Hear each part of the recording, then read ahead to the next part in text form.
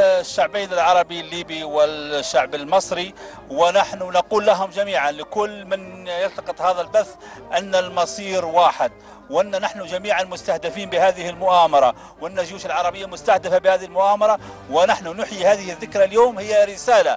واضحة لأصحاب هذه المؤامرة للمستعمر أن لن نفرط في أرضنا ولا في كرامتنا ولا في خيرات الوطن العربي. نحن